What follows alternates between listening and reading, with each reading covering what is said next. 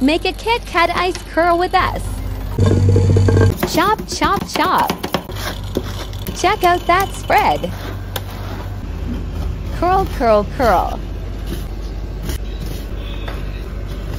Not every roll ice cream is ice curl. Who doesn't like a dash of choco chips? And some yummy wafers to go with it. Finishing off with some chocolate syrup.